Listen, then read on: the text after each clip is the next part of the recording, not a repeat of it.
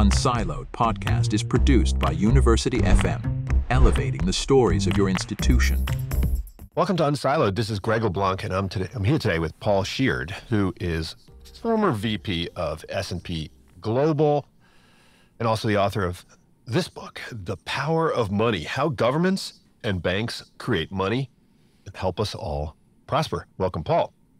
Thanks very much, Greg. Pleasure to be here. Now, I, I really like this book, um, and partially it's because I, I like books that you know try to simplify things. You know, I think oftentimes in academia we start to get really complex really quickly, and then we kind of forget you know the the basics. And you know, I know a lot of people who are in the world of finance who, if you ask them, you know, what's money, they they they kind of get a little confused. you know, like what's credit and so forth. And I think part of what you're trying to do with this book is you're trying to overhaul how we talk about things like public debt, about money creation, about uh, fiscal and monetary policy, mm-hmm. and and all all the rest of it. And you know that conversation. I mean, it's not like the conversation that you have in, in the media is different from the conversation you have in academia. I mean, I think that the conversation you have in the media is inspired by the kind of the ways that people talk in the halls of the Fed and the way that people talk in the halls of academia. And so I think you're, you're trying to replace kind of all of that. And, you know, when I think about macro, right, and I think some people were traumatized by macro in school, I think macro sometimes to me has two different definitions. You know, one is that, you know, it concerns itself with the monetary economy as opposed to, to the real economy. Mm-hmm. But I also think of macro as having to deal with kind of, you know, general equilibrium as opposed to partial equilibrium. And and so I think what you highlight is that a lot of us suffer from, you know, the composition fallacy. Mm. We're talking about things like like government debt. And I said, I think you're trying to kind of use both definitions of macro to, to get us to rethink this these basic um, terms mm. and, and, concepts. Um, and, and, and, presumably, if we did this, th- this would have profound policy implications. Um, and so, I, I, guess the question is, mm after all that. is, is this way of thinking? I mean, because you were a practitioner, you were out mm. in the field, you worked uh, with banks and so forth. Do, do practitioners think of things differently, or, or they do they also you know use the same language as the the public and academia and uh, policymakers use? Mm.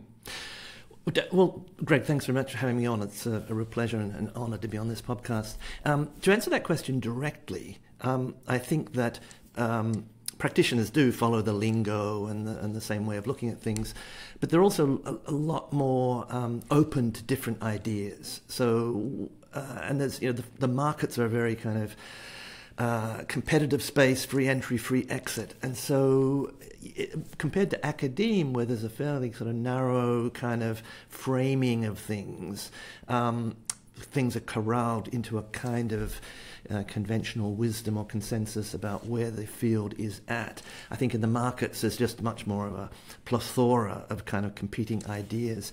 But if I could just uh, dovetail into your introduction a little bit, sort of, you know, what my book is about and why I wrote it. Um, I actually started out life as an economist, an academic economist. Even spent a year at your illustrious institution on sabbatical back in 1991, Stanford University. And I was more of an economics of organization, uh, micro industrial organization economist. But of course, you have to do your macro as well. And I you know, taught a bit of, tutored a bit of macro. So very familiar with the field. And then I went into the financial markets in the mid 1990s in Japan. I was a Japan economy specialist. And you know, Japan was a very was a laboratory of interesting macro stuff that was going on in the 1990s with the unwinding of the asset price bubble of the 80s, financial crisis, banking crisis, then deflation. And then all of this unconventional monetary policy and fiscal policy concerns as well, mounting debt levels, etc. And so, you know, as a chief economist, first of all for Asia and particularly focused on Japan, and then later on global chief economist. And then, of course, everything goes global with the 2008 financial crisis, and we have quantitative easing and all that sort of stuff. So, so I was basically sitting there in Japan, and you know, if you go back to 2001, when the Bank of Japan launched its first round of quantitative easing. So I had sort of like a front row seat And as somebody who came into the markets from academia, you know, I look at, I try to look at things in a very sort of analytical way, try to understand what's going on, but also the institutional foundations, not just the high level. So macro is very aggregate, but I like to dig into, you know, what's the plumbing of the system as well.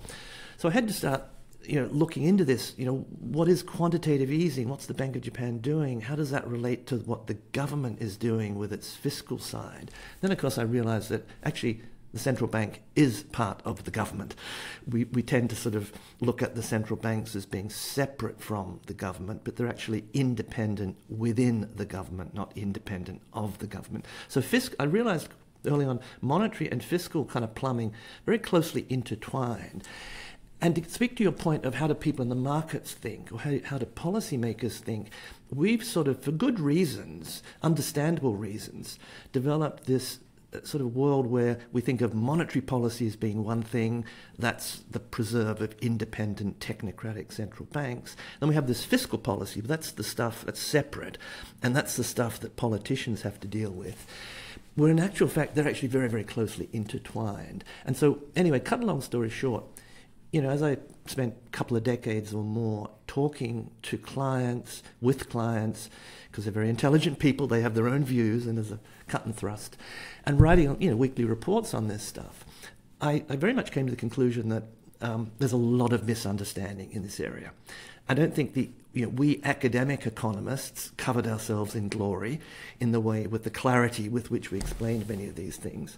And in the markets and in the policy world, there's a kind of um, conventional language and way of thinking which is really at odds with the underlying reality. So a lot of misunderstandings. What I wanted to do with this book was not write a book, a sort of an academic treatise that would sit on a bookshelf somewhere, but rather kind of say, look, this is how I understand things, and try to explain and sort of dispel many of the myths and misunderstandings, um, and put it, you know, pitch it to the sort of ordinary people who think they understand it, but actually they don't, or they're confused. And you know, it's my shot at shining a little bit of light on monetary and fiscal affairs.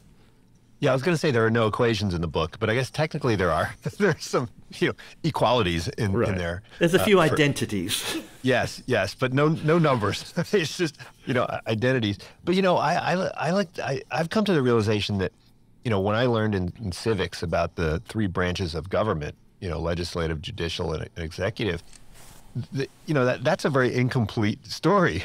Right? At the very least, we should have the banking system in there as sort of a a, a fourth you know branch of, of government, and and so I think you know you draw a distinction between kind of a kind of I guess fundamental or foundational mm, approach to looking at these things versus an, an, institutional approach. Now you know I do institutional economics, so you know I, I like to say you know the, the institutional architecture, you know, matters, right? And it does, and you explain, you know, why we, we, we have this this division. But you know, you hypothesize, like, what would it look like in this, you know, Garden of Eden world, mm. where where we, we just stripped away kind of the institutional uh, complexity and just got after the the fundamentals. Um, and if we do that, we come away with a very different view of, of money and and and debt. So um, maybe we can start there mm. and and say, you know, what is the most fundamental misunderstanding that that people have about mm. money hmm. and mm. governmental policy with respect right. to, to money and government debt? Great. Um, yeah, great question there, and I'm glad you picked up on the distinction I make between, uh, you know, l- describing the system in terms of how the institutions actually function, and then what's really going uh, on under the surface at a very sort of fundamental level. That's what I call the monetary Garden of Eden. I kind of betray my Catholic upbringing there with that term. But um, just a little bit more about the, the, book. One of the things I, yeah, there's, you know, my, my bookshelves, and yeah, I'm sure yours as well, filled with books on money. There's lots of books on money. And there's a lot of books on the history of money, fascinating books. Um, By the way, it, I start off my, I teach money and banking, and I usually start with you know, history of money. Mm-hmm. and instead of spending an hour on it, I mean, I spent like the first couple of weeks on it, right? It's money exactly, history of money banking. It, it's fascinating, and of course, you know, every chapter on on money, any any paper you pick up will say, well, money has three functions: uh, unit of account, medium of exchange, and um, store of value. And then economists will typically, so you'll have the history of stuff, but then you'll have the definition money has to have these three functions. And then economists tend to sort of jump to um, measuring money. So we have all the M's, the monetary aggregates, and the M zeros, and you know, MB, monetary base, M0, M1, M2, M3. And uh, economists have you know, got into all sorts of debates about which one's the right one and do they matter and all that sort of stuff. But what I kind of noticed over the years and you know in the markets and just thinking about it more is there's very little um, description or understanding of well how does money actually get into the system? How does money get into circulation? And it's sort of like we take that for granted. So my book sort of starts off trying to explain that. And and most people if you ask them that well where does money come from? They they would think they understand. They'd give you some answer. And they'd say, well, central banks create money. Or um, they would say that, you know, banks collect savings, and, you know, that's sort of the money that is in the economy. Um, or they talk about governments borrowing money. But all of those things are actually wrong or, or, kind of not really accurate descriptions. And so I think that's the, the key kind of canonical misunderstanding. It's not well understood how money comes into the economy. And, and I use a kind of, and I'm I don't have copyright on this. I think some other economists use this uh, analogy. I kind of like to think of the, the bathtub example. It's a bit crude, but think, and you mentioned monetary and real economy. Because money, we're talking about the monetary economy, this virtual economy, this sort of imaginary economy. Um, the, but of course, it's all in service of the real economy, the goods and services that are produced. That's really what's important to people and to everything. But you need the money economy to, to fuel the real economy. And so I think of the, the bathtub as being the real economy. And but you know, this is where it starts to break down a little bit. Of course, the real economy is always expanding. So GDP in the in the US at the moment, the latest figure is pushing 28 trillion dollars. But if you went back like 10 years ago, that was about um, uh, 16 or 17, about 17 trillion. So in a decade, real GDP, uh, well, sorry, this is actually nominal number because money is nominal, just using the, the nominal number. So nominal GDP, but that's still the real economy, has gone from about 17 trillion to about 28 trillion. So it's about 11 trillion. Now, what's happened to money? Well, if you just took M2 as, an, as sort of the basic, probably kind of best overall measure of the sort of money, you know, bank deposits, cash in circulation, some other things as well. That's about 21 trillion. And you know, 10 years ago, that was about 11 trillion. So it's not one for one, but roughly in the last decade, US GDP is up 11 trillion. M2 is up about 10 trillion. So that's the water, the, the money is the water in the bathtub. So you have this bathtub that keeps expanding, you know, hopefully, because the economy expands, and you want to have the right amount, roughly the right amount of money in that bathtub. If you have too much money, it overflows. You might think of that as inflation. If you don't have enough money coming into that bathtub, as the bath, or water, as the bathtub is expanding, um, you get cold and you could think you've got deflation. So, in some sense, you need kind of more or less the right amount of money in the bathtub, but the bathtub keeps expanding. You need these sort of you know, taps that are pouring money into it. So, how, what is that process? Um, and, you know, I, I basically there are three three ways in which that money gets into that bathtub. And the first one, and I think the main one, uh, is through bank credit creation. So this is the one of the first kind of misunderstandings. Although it's kind of the story is getting out there better now. More and more textbooks and, and books are sort of recognizing this, which is that banks create money when they lend. The act of lending is the act of so the act of credit creation is the act of money creation. Um, that's incontrovertible. And yet, so many people, Greg, have this view that somehow banks are taking in deposits and lending those deposits out. Well, the deposits are already money. You can't take in. Uh, and where does where do deposits come from if you're taking them in from somewhere? That's people putting banknotes in the in the in the bank bank. But where do those banknotes came from? Well, originally out of a bank account. So it's very circular. So it's that's the first kind of common misunderstanding that one of the main ways in which that money gets into the bathtub is through banks, bank lending, um, and of course, banks are therefore really mission critical to the financial system, to the economy. Um, and they're kind of connected to the central bank and connected to the government through, you know, you have to have a banking license to create this money, but they're private sector entities. The second way in which money comes into the economy, and this is a bit trickier terrain, is sort of completely different. It's a different way of getting that money into the system, which is through government spending. Government, governments running budget deficits. So all a budget deficit is, is the government injecting more money into the economy by, by its spending decisions than it's taking out via its taxing decisions. And, you know, or sort of net taxes if you take into account transfers. So if the government runs a budget deficit of, say, you know, I don't know, pick a number, a, a, a billion dollars, small number for the US, a billion dollars, that just means that they've injected, at the end of the day, a billion dollars more money into the economy than they've taken out. And so the, the you know, again, we all kind of in, intuitively know this at some level. Well, you know, too much government spending creates inflation, but uh, and that, um, but but there's still a lot of mythology about this and misunderstanding. For example, we talk about government debt. We talk about the government borrowing money.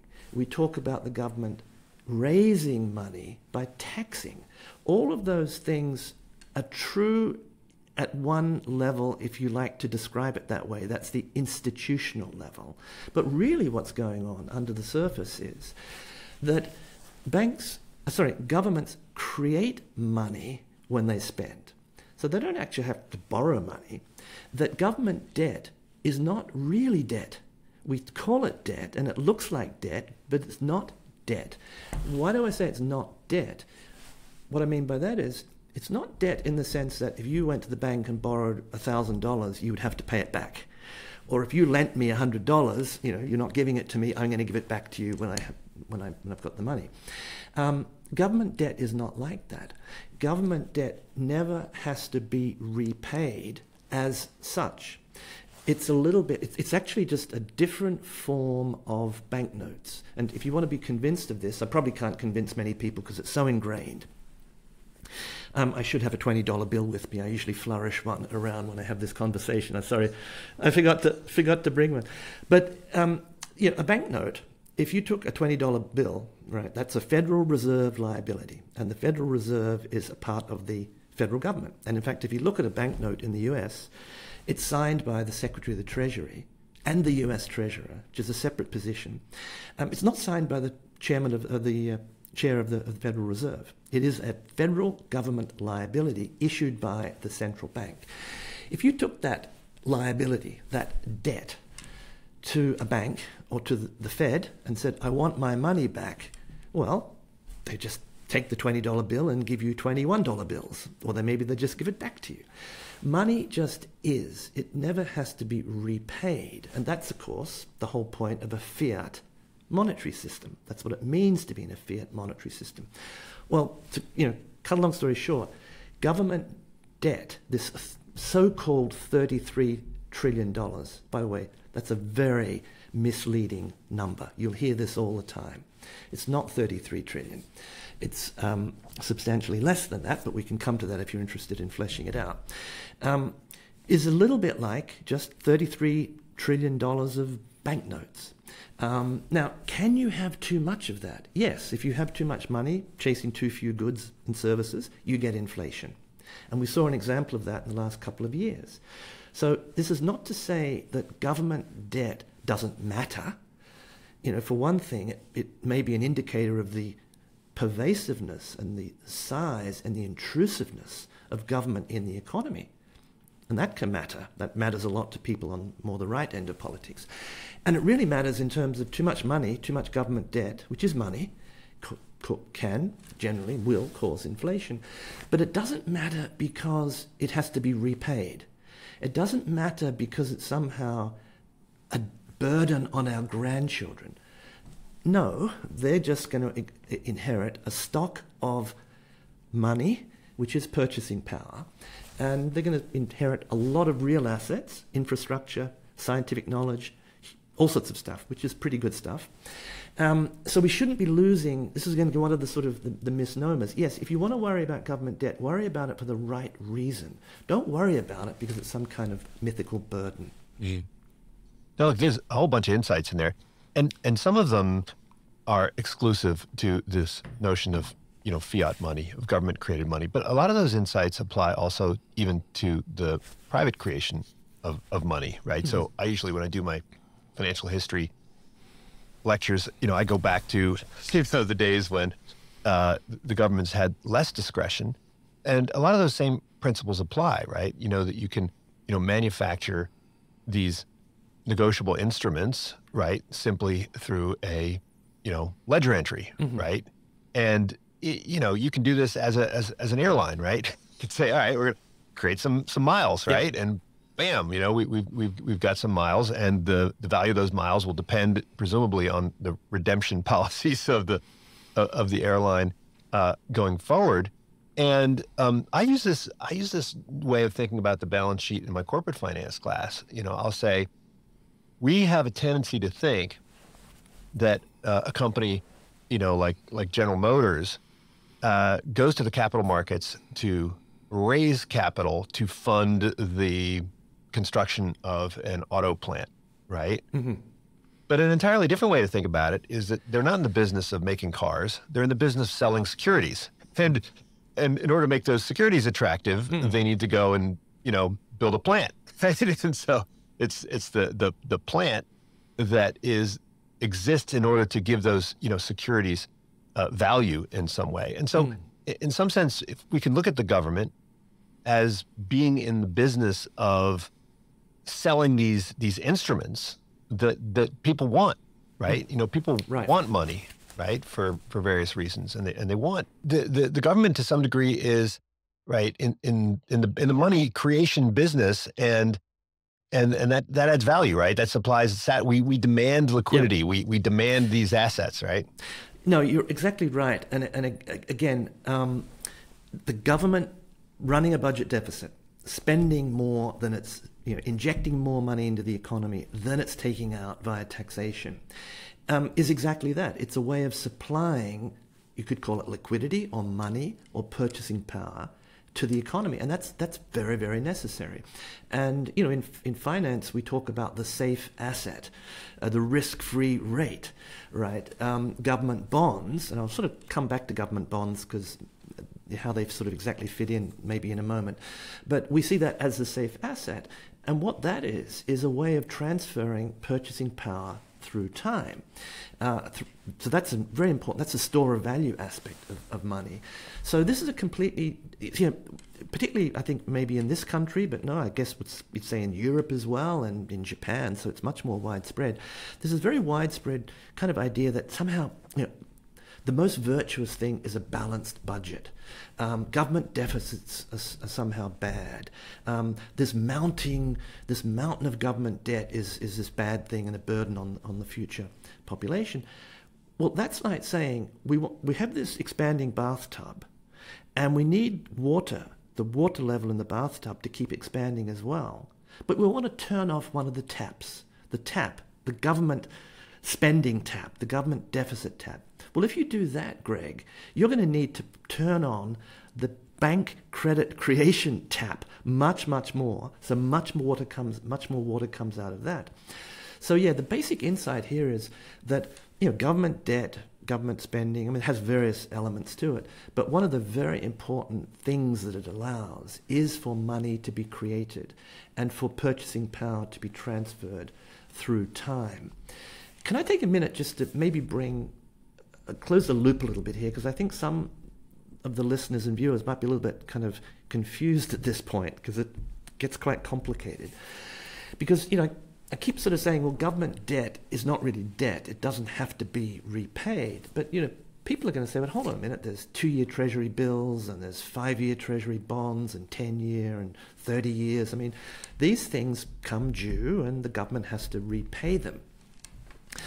But this is where you get into the institutional layer of the economy. It's precisely because governments can create unlimited amounts of money if, through their spending. And it's precisely because if we let them do that, or if they let themselves do that, uh, we'll get too much money in the economy and we'll get inflation. That, you know, over the last 50, 70 years, maybe a century, we've devi- we, society, have devised these institutional frameworks that put the checks and balances, checks and balances basically, you know, and shackles, speed bumps and shackles yeah. on the ability of the government to engage in that unlimited money creation. And that's one of the elements there is the independent central bank. Um, one of the elements is is saying that the government cannot run an overdraft with its own bank, that is the central bank. And one of the elements is saying, well, because of that, when governments do spend, when they do run a budget deficit, they'll have to issue securities first to raise the money, which in a sense they're then going to create through their own spending. So money creation by running a deficit is dollar for dollar offset by bond issuance. But the right way to think about that is essentially just transforming what bond issuance is, is just transforming the nature of the money from money money, bank deposits or reserves at the Fed, into something that looks like it has to be repaid. But actually, push come to shove, it really doesn't have to be repaid. And another way to think about this is, and I don't know if you want to get into quantitative easing, you know, what the heck is that? But one of the things I realized in my, as I was looking at this stuff back in the Japan days, was that if I just talk about quantitative easing for a moment, if, if I may, what that is, is the Fed, the, let's talk in terms of the Fed, buying government debt securities, that is, liabilities of another part of the federal government, and in exchange issuing its own liabilities, which is central bank reserves, the deposits that commercial banks have at the Fed. And it's, it's, a, it's a dollar for dollar sort of transformation. And there's, there's one key difference between the liabilities that the Fed issues when it buys those treasury bills and those treasury bills or treasury bonds which have this due by date on them, which is central bank reserves have no repayment date attached to them.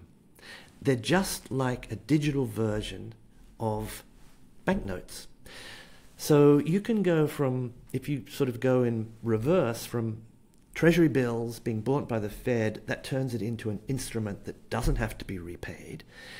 And if you know, the next step is then to actually convert that into banknotes, which is what the public does. So when the public takes out money from the bank, it's draining those digital reserves.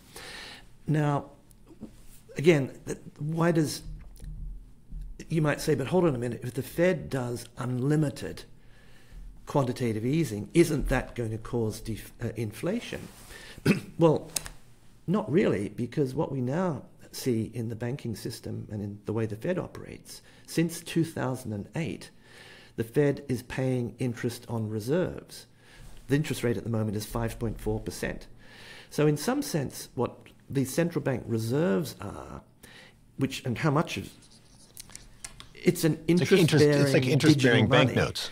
Uh, and, and if, if the public was holding that, and you know, with CBDC, a central bank digital currency, we potentially could get there. You could have a digital version that has an interest rate attached to it. So the interest rate mechanism that the Fed uses with its monetary policy can still be preserved in a world in which, in the in the extreme, all of the government debt securities that, that in, in some sense had their genesis when the governments ran budget deficits and created the money can be converted back into that primitive form of money and the central bank can control inflation through its interest rate policy. And that's really the world where kind of it's a halfway house. We still have a lot of government debt securities out there, but we also have the Fed increasingly, and other central banks, the Bank of Japan being probably the most prominent, sort of operating as you know a sort of quasi treasury. Um, yeah, well, I I remember um, when I learned macroeconomics, there was a, a, great deal of emphasis placed on the um, you know open market operations and you know emphasizing the, the important difference between money and and debt, right? Uh, or what they meant was sort of you know highly liquid, non-interest bearing, right, debt, and um, you know interest interest bearing debt that had some some maturity, and and these were seen as sort of categorically different.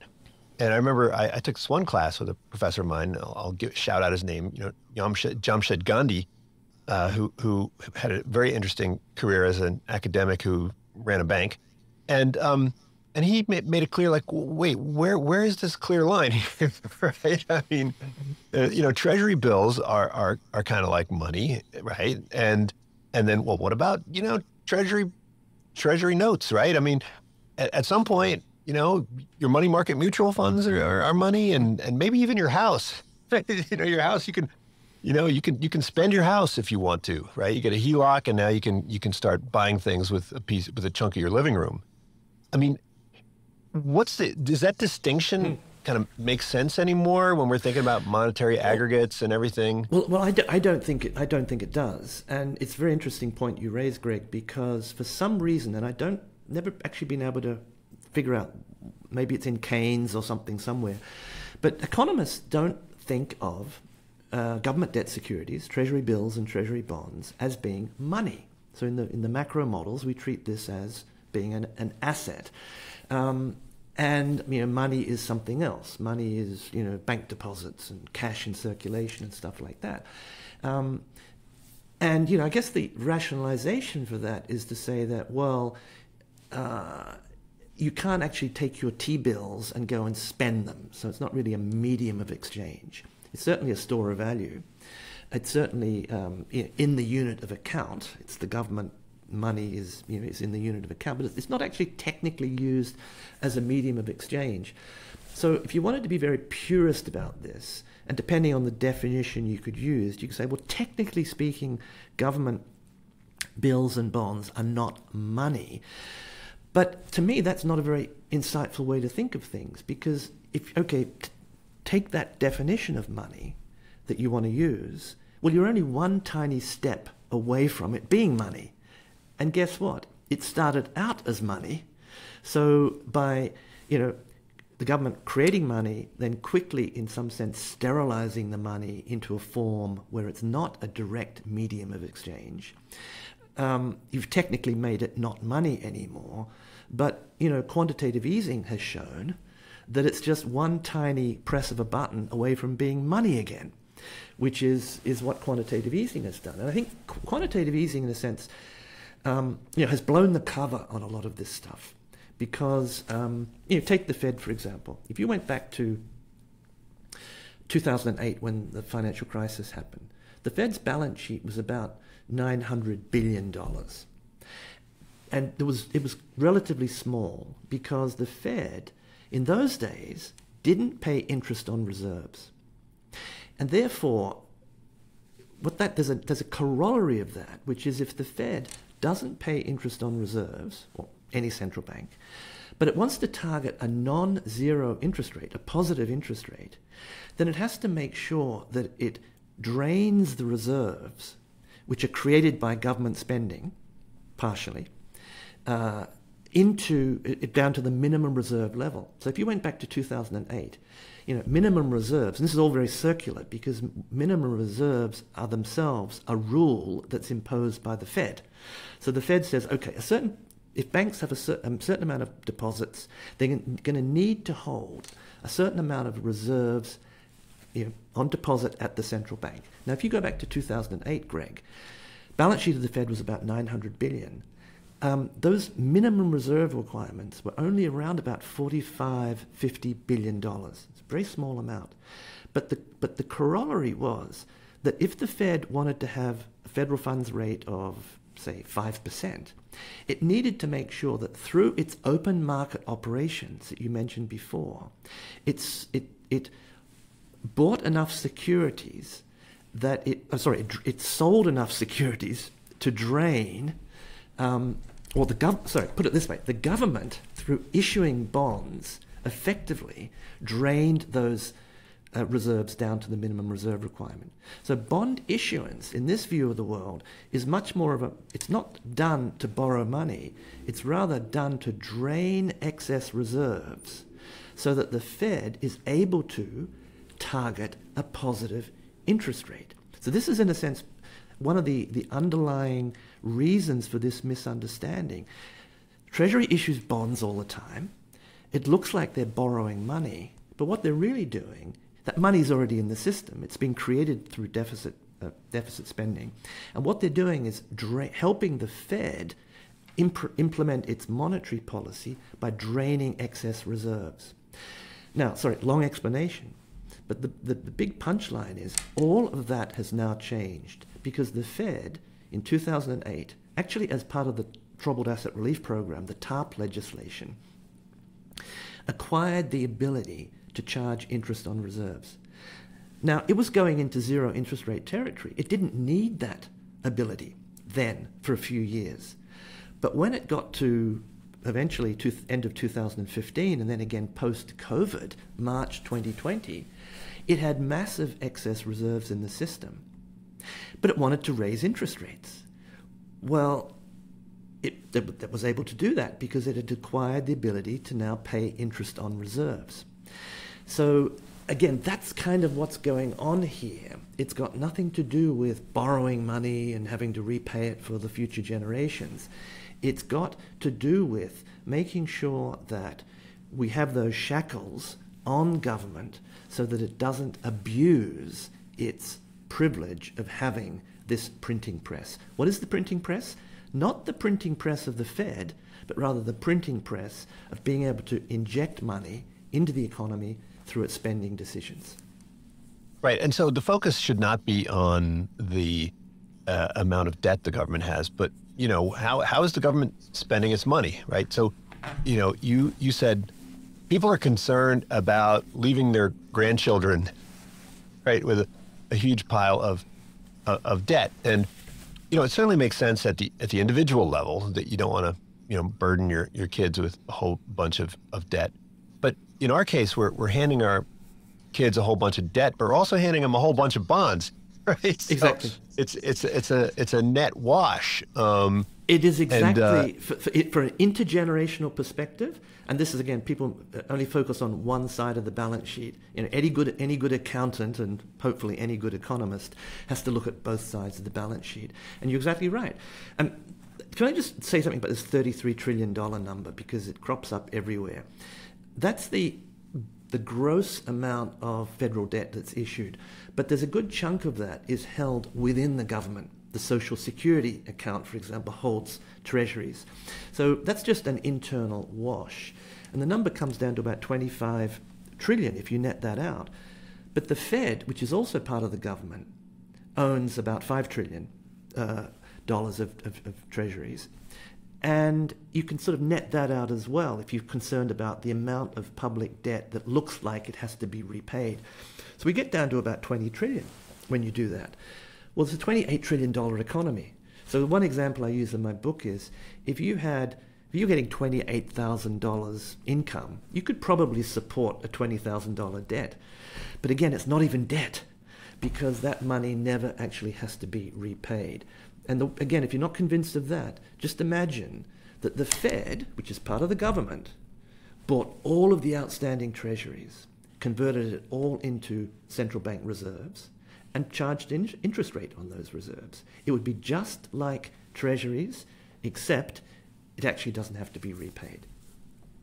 Well, I think the the reason why people are you know concerned is that you know they really are concerned that we are not thinking carefully about how we're spending the money, right? And so if we if we couldn't finance it with debt, then the the pain of the expenditure would become more visible. I mean, look, it's not the spending of the money that is the the cost, right? The cost occurs in the real economy, mm. right? If, if yeah. the government decides to, you know, build a dam, the, the cost is is not the money it's spending. The cost is the you know the cement and the and the and the labor and the you know the the steel, which would otherwise go towards towards other other purposes.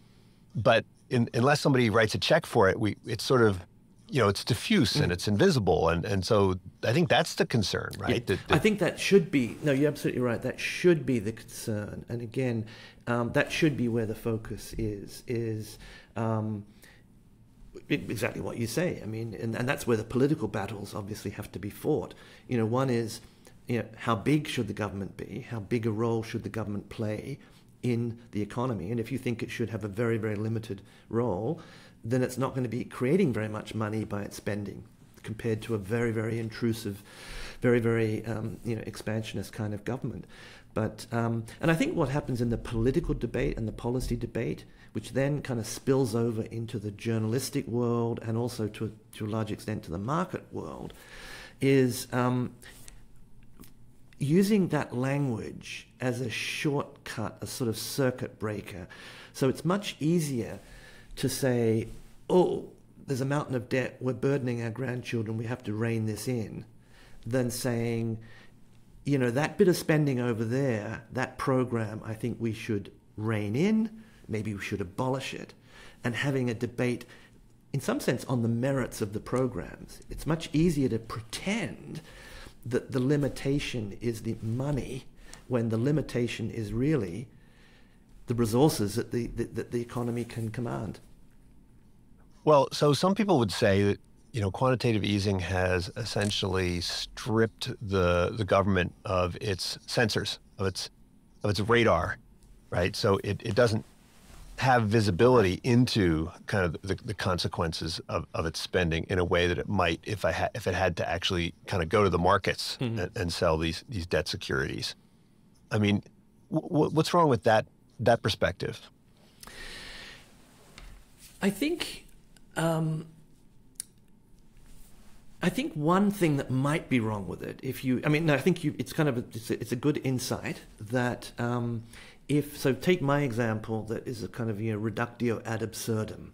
What would the world look like if, if we said, like the government said, look, we're going to do away with this whole idea of worrying about the mountain of debt and everything else and repayment. That's not the issue.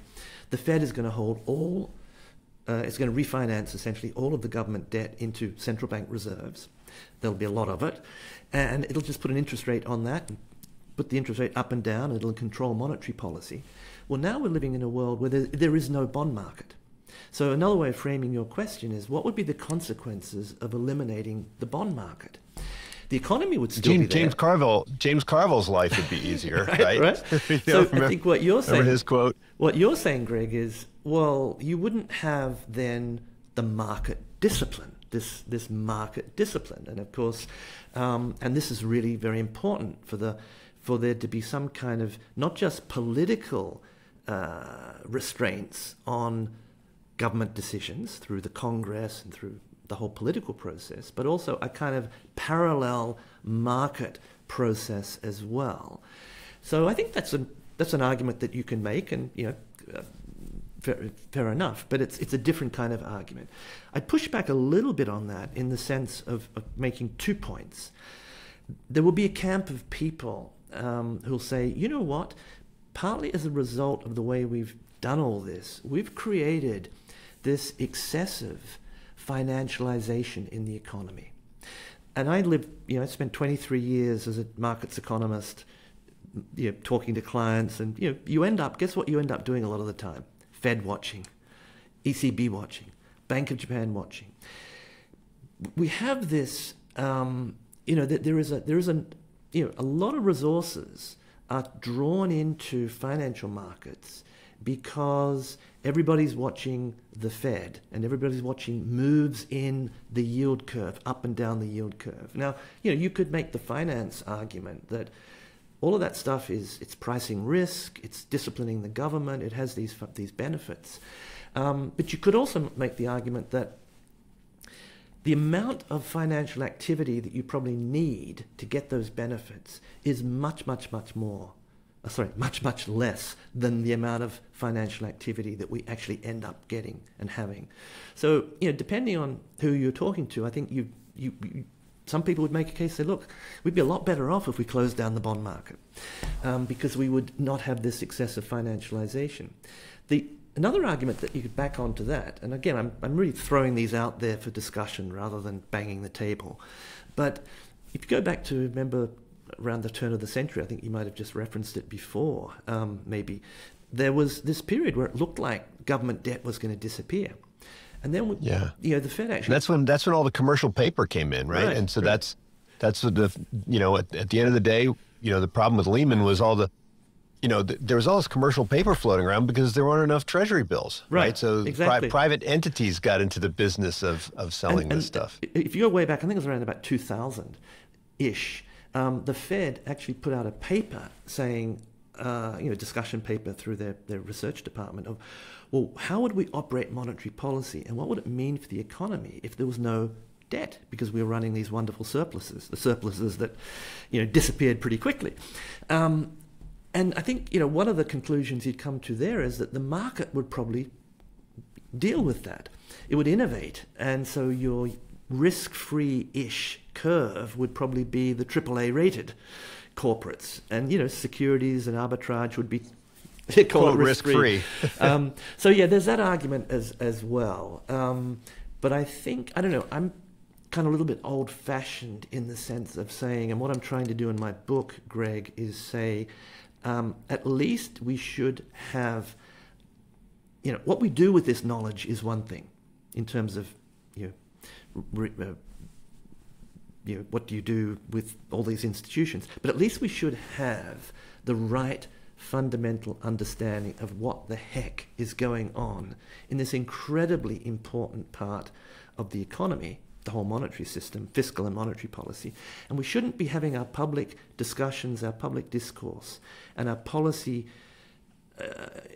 discourse and decisions being based on a foundation of you know misunderstandings and wrong language. And we might stumble into the right decisions and we might get some side benefits. But it's a very kind of um, i don't know to me suboptimal way of operating. Well, now some people might say, okay, fine, I, I get you, Paul. Right? Um, you know, we just owe this money to ourselves. But you know, when we're running massive deficits, then we owe the money to you know the Chinese, right? We owe the money to to folks outside, and so you know, our children will be spending their lives, you know, manufacturing stuff that they'll be shipping out to China, right, in exchange for all the stuff that we consumed that were made by Chinese people. So, you know, we're living high on the hog, right, with all these cheap TV sets, and um, you know, our our kids are going to be slaving away to, you know, make. Uh, you know, I don't know, steak for the for the Chinese, uh, and they're not going to be able to consume steak themselves because they'll they'll just be spending all their time paying down all these debts.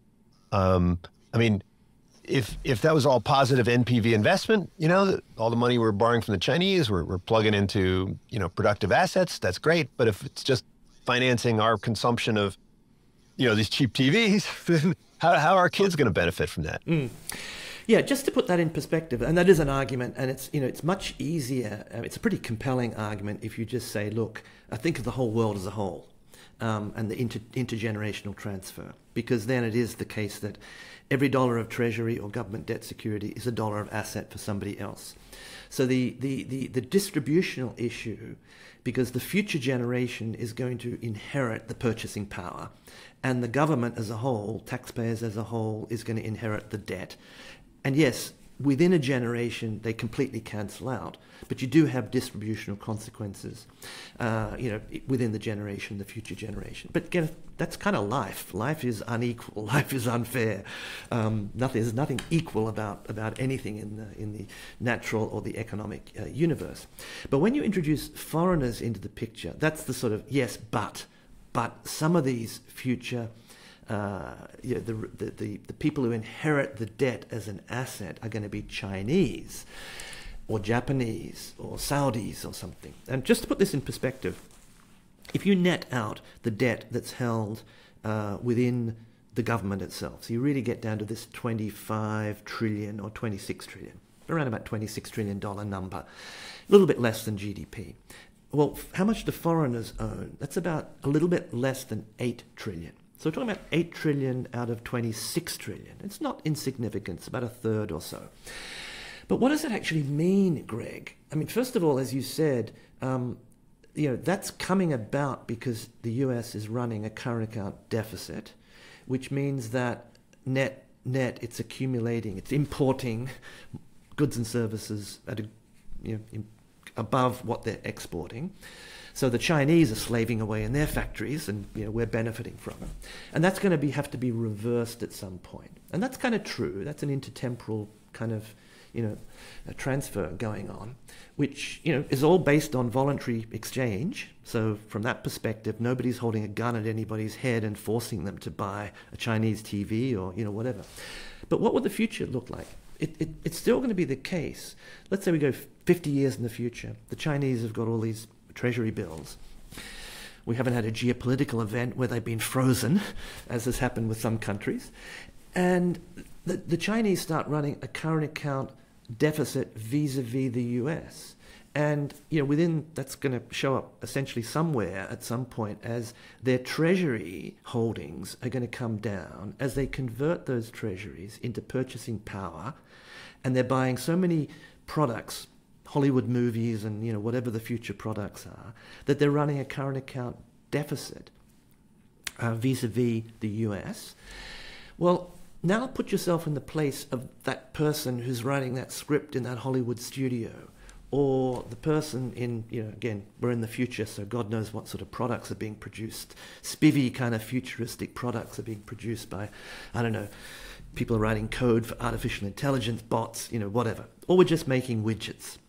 Well, the people, you know, who are making those widgets in the US in the future are selling them to Chinese and they're getting income.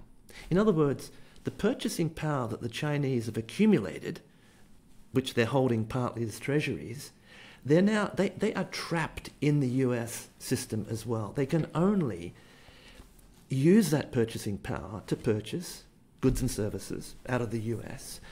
And I don't think it matters too much to the man or woman who's, you know, making those widgets and they go out the door. Well, not to not to them, but Who- to the who- people who who, would them? otherwise. Yeah, I mean the people who uh, you know would otherwise be be buying the the beefsteaks. The beefsteaks are now, you know, not available for them. They're they're, they're priced out Mm-hmm. because they're selling to the to Chinese. So I mean, if if we're going to focus on the real economy, then you know we're going to focus on on the the the lack of availability of those real assets to the to the Americans, right? Yeah, but I think all of those decisions, I don't, I don't really, you know, I, I have a lot of trouble tracing all that back to like where we started this conversation with, with you know, is, is the government spending too much money? Well, you know, in some sense, again, it's the job of the Fed to control inflation. The biggest problem with, you know, the government spending too much money is going to be that it's going to cause inflation, and if if it does that, it's going to run into a bit of a, a speed bump. Now, sometimes, you know, the horse bolts for a while. That's what happened in 2021, 2022.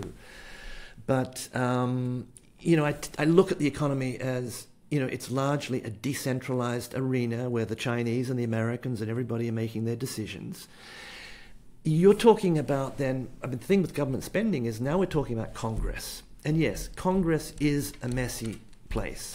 Um, but the perspective I would have on, if we take this into Congress, is I think the perspective that you would probably want Congress people to have is are the decisions that they're making good for the American people in and, and good for future generations in the sense of what is going to determine the prosperity of future generations is not how many treasury bills the Chinese hold, but rather how productive the U.S. economy is, how much techni- you know, how much physical capital, infrastructure, how much human capital, scientific knowledge, social capital has it accumulated. That's really what determines prosperity, and and that's the that's the lens through which I think we should be looking at government spending. Yeah. So is is it a positive NPV investment? In other words, mm, you know, is it going to increase the the value of the taxable assets in the future by more than it's going to, you know, reduce them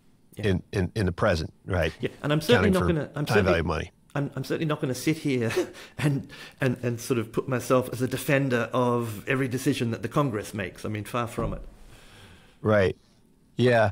Well, I mean, some people would also criticize uh, quantitative easing for the redistributive effects domestically, right? And in particular, the impact on on asset prices, right? And so, some people would say that, you know, this is effectively keeping, you know, distorting interest rates in, in a way that would lead to the rich getting richer because we see all these assets, you know, go up in value more perhaps than they, they would otherwise, and uh, and it's these redistributive mm. consequences. Now, presumably, you could you could fix them through you know tax policy and so forth, but you know that doesn't happen. Right.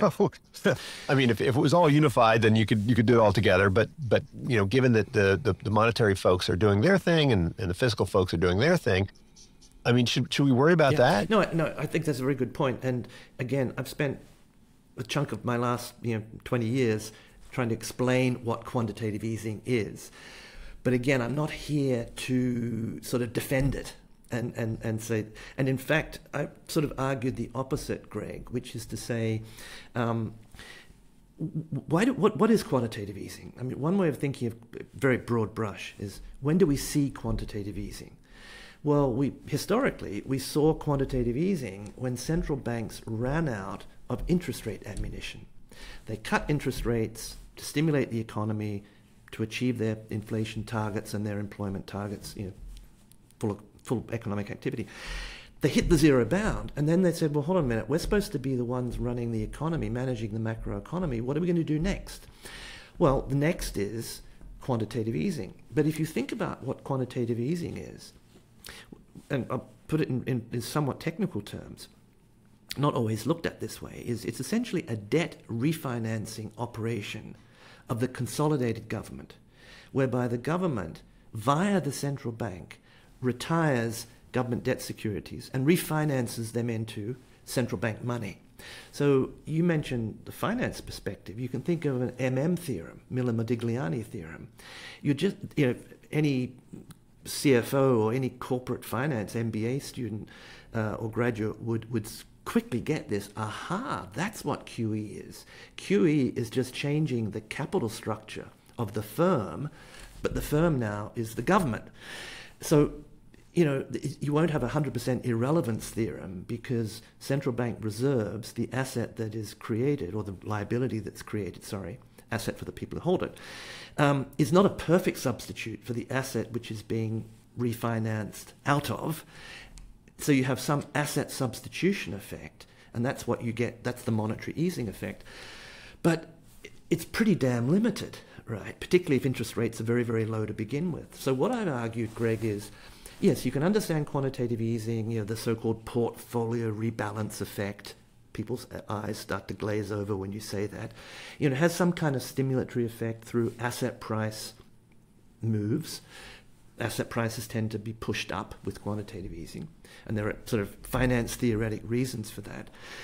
Um, but you know, I talk in my book about Sheard's theorem, which is that you know if a central bank gets to the point where it is having to use quantitative easing and do so on a large scale, that's really a sign that fiscal policy needs to be playing a much more proactive leading role in macroeconomic policy management. And here's where we kind of run into a bit of a problem, which is the framework that evolved in the last 50, 60 years to deal with the problem that governments can cause inflation by spending too much money, creating too much money. So we, we sort of give the job to this independent central bank and we put sh- shackles on the fiscal authorities. That was a brilliant mechanism or institutional framework for solving one set of problems. But it had a blind spot. And the blind spot was when you had maybe a crash after a financial crisis, or maybe a period of what uh, John Williams and others termed a low R star, that is a very low natural interest rate, such that you hit the zero bound a lot. Monetary policy becomes relatively impotent, not totally impotent, but we don't have a framework, particularly in the US, with the separation of powers in particular, where you can coordinate monetary and fiscal policy and coordinate and maybe joint mobilization.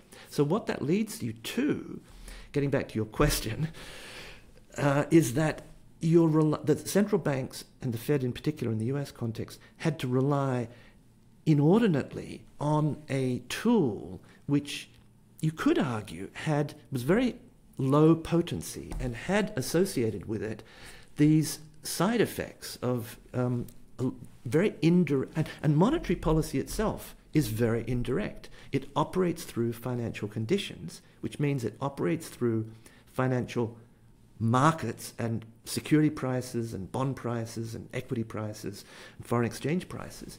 That, and then the economy has to somehow react to that. So I think when you think deeply about monetary policy, it has an advantage which you sort of touched on before, which is it uses maximal use of markets, financial markets in particular. But it may lead to over financialization and it may lead to sort of distortions that perhaps disproportionately favor uh, asset holders, the rich and wealthy, and much it's a much less efficient way of helping the poorest people in society.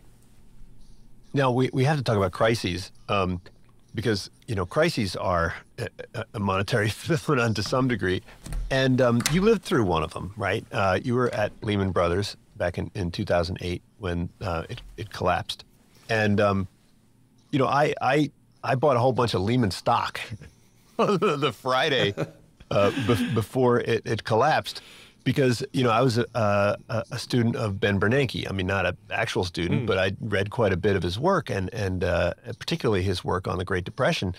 And I thought this man will never let this bank collapse. Right? This this man, you just, if if anybody else were in charge of the Fed, they might let it collapse, but this man will will never let right an institution like Lehman Brothers collapse because he knows exactly what's going to happen. And so I was you know, I bought the stock at like, I don't know, it was like $2 a share on that Friday. And, and of course, I lost 100% over the weekend. But, um, you know, when you go back and you, you revisit that, I mean, the people who were involved in that decision, they said that, oh, yeah, you know, we didn't want to have moral hazard and so forth. But I mean, it seems there must be, there's more to it than that, mm-hmm. right? I mean, if if you if they if you sat down with with with Ben Bernanke and and Tim Geithner in a room today and you said, "Hey, do, do, do you regret that decision?" Mm. I'm guessing that they would have to say yes because you know the not, the, not, the amount of the firepower they had to right the amount of firepower that they had to bring out afterwards was far greater than the amount of firepower mm. that they would have needed you know beforehand right yeah. and and obviously you know I don't have any sympathy for for Dick Fuld or anybody else and and uh, certainly don't have not crying my milk. You know, I lost a couple thousand bucks, but it, it does it does seem um, that you know we, we could have done things differently there. Yeah, and, and I do I have a, as you know I have a chapter in my book on financial crises. You know what can go wrong with money, um, and I talk about the Lehman example as well. I was the chief economist at the time, so I was there to the bitter end, and um, you know lost a little bit more money than you did. I would guess uh, hazard to say because I didn't sell any stock. Um, oh, yeah, yeah, you have deferred options and all that sort of stuff as well. So, um, but I argue in my book that you know, again, stepping back as an analyst, I think it was a, a mistake not to do some kind of Bear Stearns like operation with Lehman Brothers. Now, you know, I'm going to have a very hard time convincing anybody that I'm, you know, I don't have a conflict of interest by, oh, well, the chief economist of Lehman, they would argue that. But I do sincerely believe this just as, as, as an analyst. Um, and I didn't buy the story at the time. And you know, if you look, if you go back to that 2008 period, March was the Bear Stearns operation.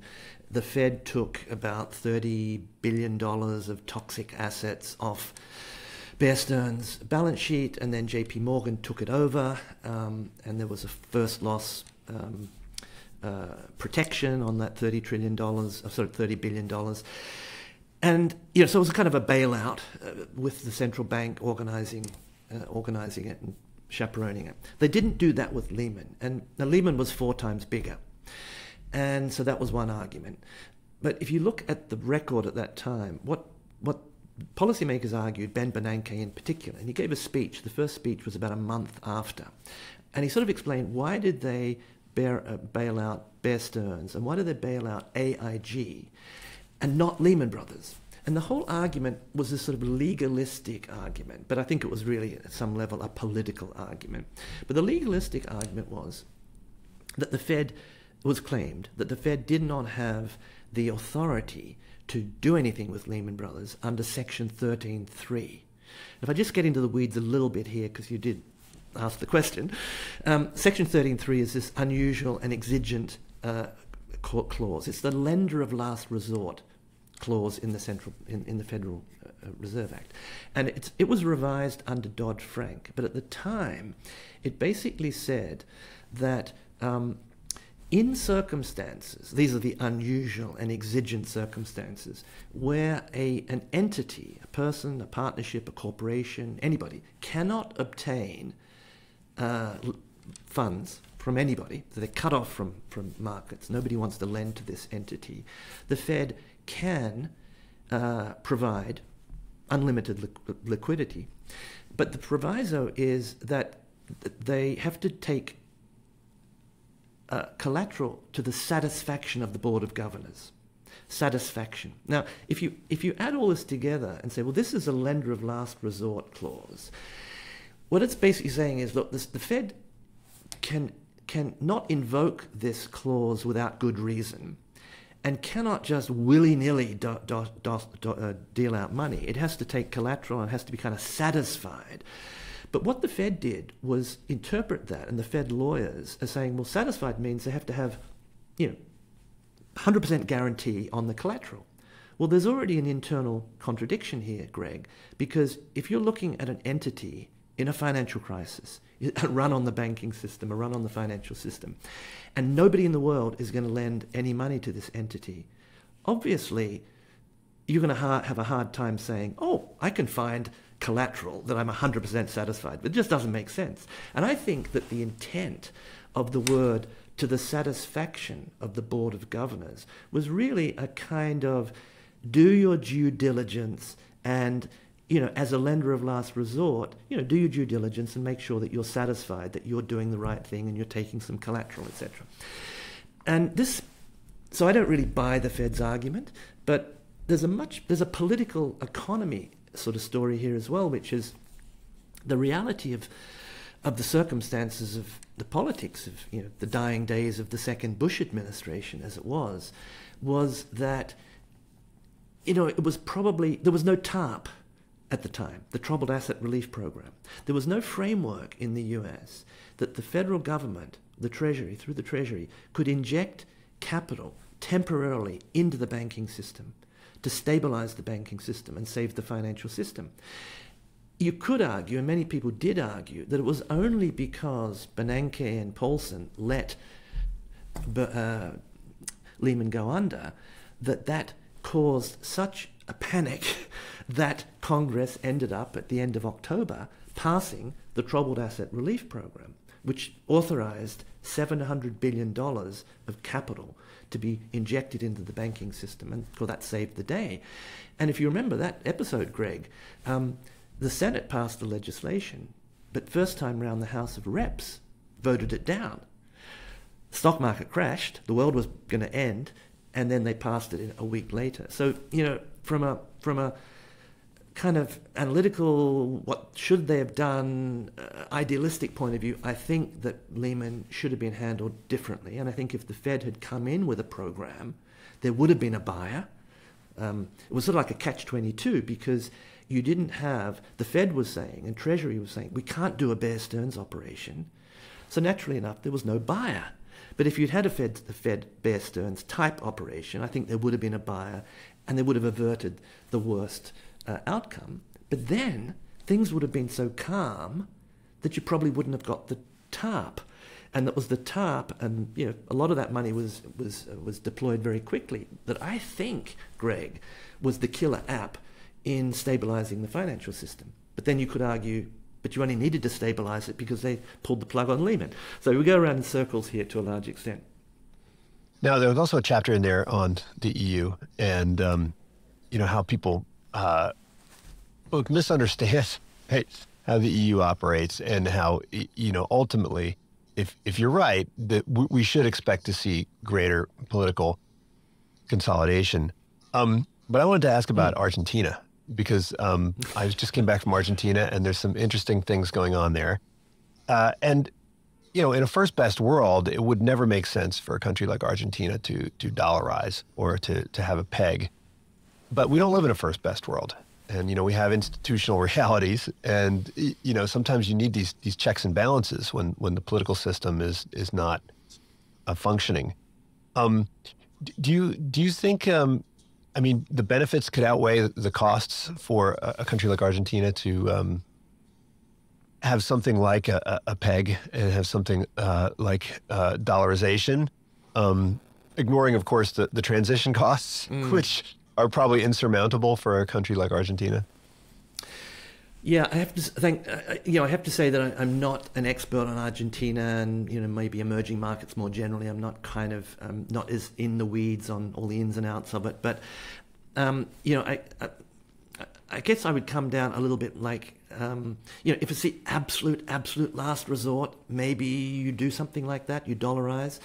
But from my kind of framework, you know, because it's the ultimate shackles, it's the ultimate discipline on, on you basically take away the sovereign right to create money, yes, you, are not going to have a problem with the government spending too much money. Um, you, you do create a situation now where the Argentinian government, in order to spend, essentially has to borrow in dollars. They don't have a dollar printing press, so it's the sort of the ultimate way it's like Greece. It's like right, Greece on right. steroids, except you, you, don't have a nice, beneficent right. set of Germans to, to, to bail right. you and out, that's my beef with the eurozone is that the euro is a construct, is is sort of sep- it, it does it takes a separate monetary and fiscal policy and makes them even more separate and basically turns every member of the eurozone euro area into a country that effectively is having to borrow in a foreign currency so it takes away a lot of policy flexibility um, and, and so I think ultimately they're going to have to merge monetary and fiscal policy and get better coordination, etc. But getting, it's kind of like California. I mean, California is dollarized, right? California is is is right, like Greece right. to some degree. So getting state, back to right? yeah, so getting back to Argentina. I mean, I guess the problem is Argentina is not a state of the United States like California is. So I guess I would, you know, if maybe it's it's a last resort that needs to happen for a while. But the other alternative, you know, is uh, and is basically to try to get your act together domestically with the institutions. Um, and I guess the problem is that the, the you know, so you know, they cannot, they don't have the domestic credibility to be able to create shackles and put them on themselves. And they've tried it several times and it's never kind of worked. So it's not my first best solution because the problem with dollar, again, one problem with dollarization is that, you know, Argentina now, in terms of that bathtub that we talked about before, uh, has no control really over that water. And it's really handing over the keys to the castle to the foreign markets, to um, uh, you know foreigners, and and they're gonna they're gonna tighten the screws on Argentina. Now again, that's sort of what Argentina wants and needs, but where does it end? And you know, again, drawing the parallel with the euro area is that I think kind of people underestimate how important an element of sovereignty it is for a sovereign government to be able to create its own currency and to be able to manage its own uh, monetary affairs. So um, I would much prefer the other course of if they're going to do something this drastic, have a really sort of adult conversation about, hey, we really do need to put shackles on the fiscal side, and those shackles have to be tight, and we really do need to give, you know, make an independent, technocratic, credible um, central bank. So it's a form of credible commitment by the government to itself and to the public to be responsible with, uh, with its fiscal and monetary affairs. Well, Paul, thanks so much. We didn't even get to talk about CBDCs and, and crypto. Maybe we'll do that another day. But you do have a chapter in there on that topic. Uh, the book is called uh, Power of Money. Maybe it'll get incorporated into the, the textbooks uh, going forward. Thanks so much. Well, thanks, Greg. It was wonderful to have a chat, and I uh, do appreciate, uh, at least virtually, at least, uh, getting uh, back into the, the Stanford community. Unsiloed podcast is produced by University FM, elevating the stories of your institution.